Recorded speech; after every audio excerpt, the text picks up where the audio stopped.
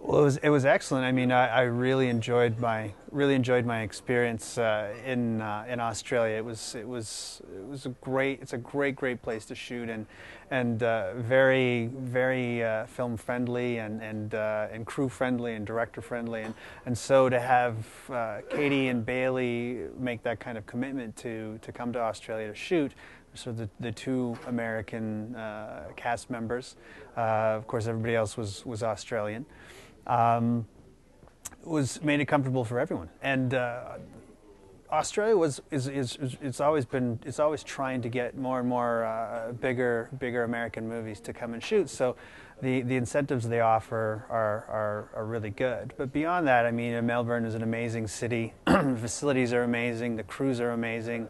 And so really lost nothing at all in terms of, of going and shooting in, uh, in Australia. I am a huge photo. I, I, collect tons and tons of photos online. I'm always online, adding to my to my library, my reference library, and sort of the the, the biggest inspiration for me for the the creatures was the hairless mole rat.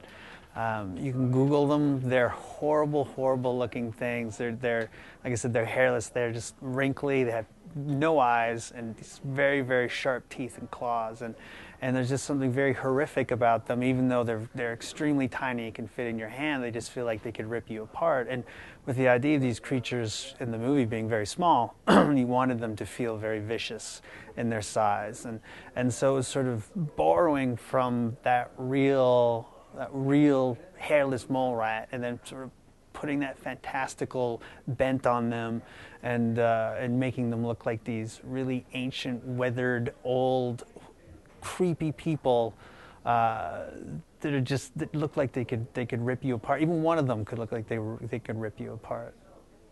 I think I think I looked at all of them. I think I looked at every seven to an eleven year old in uh, in North America. Bailee came in very late in the casting process. She uh, had just finished up a movie called Brothers with uh, with uh, Natalie Portman and Jake Gyllenhaal. And uh, it was actually Natalie who suggested we look at Bailee. She talks. She's friends with uh, Mark Johnson, the producer. Said you need to see this little girl. She's fantastic.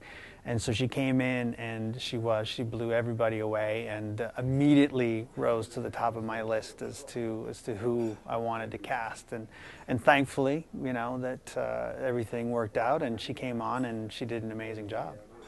First and foremost, Marco is incredible. I mean, you're going to have an amazing score just by the fact that he's involved in the process. And so, Guillermo and I put together quite an extensive list of, of inspiration for him in terms of music that we liked, that was from music, from movies, and, and, and, and even music that wasn't from movies, and, and sent it to Marco. and then it's just a matter of figuring out the, the emotional tone of the scenes, and, and then letting Marco and Buck, uh, his writing partner, uh, go off and do what they do so well. And I love the score. I think it's I think that it, it fits the movie so well and really really heightens the experience.